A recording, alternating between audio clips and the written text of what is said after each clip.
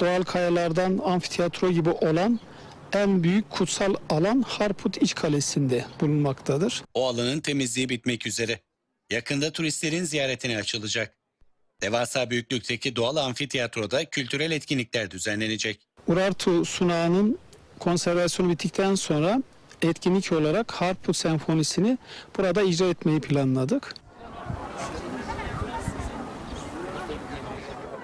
Elazığ'daki Harput Kalesi M.Ö. 8. yüzyıla ait. Kaleyi günümüzden 2900 yıl önce Urartu Krallığı inşa etti.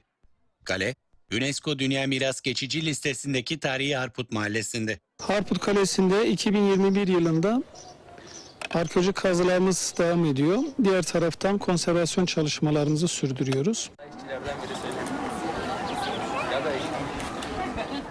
Arput Kalesi'nde keşfedilen tarihi yapılardan biri de Urartu Kutsal Alanı.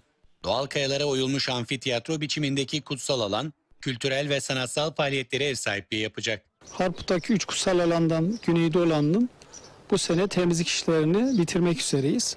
Bunların da bazı basamak konservasyonlarını yapıp Eylül ayı gibi çeşitli kültürel etkinliklere açmayı planlıyoruz. Harput Kalesi'ndeki kazı çalışmaları ve ortaya çıkarılan tarihi eserler bölge turizmine de katkı sağlayacak. Üç tane kutsal alanla beraber Urartu döneminin inanç turizmi açısından önemli bir merkez olduğunu vurgulamaya çalışıyoruz.